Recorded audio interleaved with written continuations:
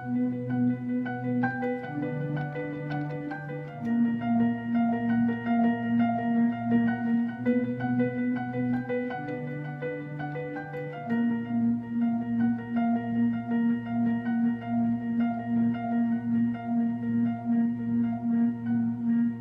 said one good turn deserves another, and I said, yes, I do agree. I said to him, can you think of something else that you can do for me?